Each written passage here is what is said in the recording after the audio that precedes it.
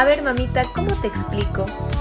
La diferencia entre vos y yo es que vos a mí me ves como una competencia y yo a vos te veo como una pelotuda.